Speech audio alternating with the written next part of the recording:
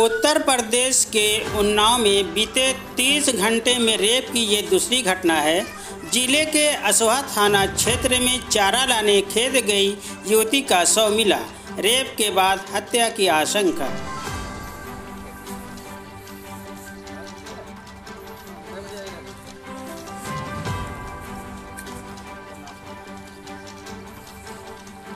Raebareli police ने एक blind murder का खुलासा किया है जिसमें शादीशुदा प्रेमिका ने अपने परिजनों के साथ मिलकर प्रेमी को मौत के घाट उतार दिया। बताया जा रहा है कि प्रेमिका ने अपने पति के साथ वाली फ़ोटो सोशल मीडिया पर शेयर कर दी थी।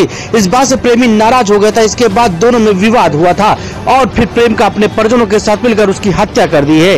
यही नहीं शव को नहर में फेंक दिया था जो की अमेठी जनपद से दिनांक बरामद हुआ है। आपको हैं जो थाना गोमती नगर जनपद लखनऊ कमिश्नरेट लखनऊ का रहने वाला था और नगर पालिका में संविदा कर्मी था।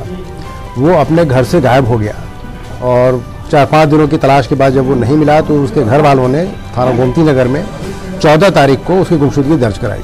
उसके बाद जब पुलिस ने अपनी छानबीन शुरू की तो पता ये चला कि उसका मूवमेंट और उसकी लास्ट लोकेशन थाना महाराजगंज के कैरवा गाँव तक आई थी। इस बिना पर लोकल पुलिस को कॉन्फिडेंस में लेकर के आगे की जाँच पड़ताल की गई और स्थानीय महाराजगंज पुलिस ने जब जा करके कैरवा गाँव में पता किया। तो ये पता चला कि इस गाँव की एक लड़की से जो जिसकी शादी गोमती नगर थाना क्षेत्र में ही इसके घर के सामने हुई थी, मृतक के घर के सामने हुई थी और इसका मृतक के साथ जान पहचान था, प्रेम प्रसंग भी था। इस बात को लेकर के पुलिस का शक बढ़ा और और भी छानबीन की गई और लड़की के घर वालों से पूछताछ की गई। तो उन्होंने अपना अपराध कबूल कर लिया और ये बताया कि उनके द्वारा उस व्यक्ति की हत्या करके उसको बुलाया गया था और चौदह तारीख की जब रात में आया तो उसकी हत्या करके उन्होंने उसके शव को पास के रजवाहे में बहा दिया। इस सूचना पर पुलिस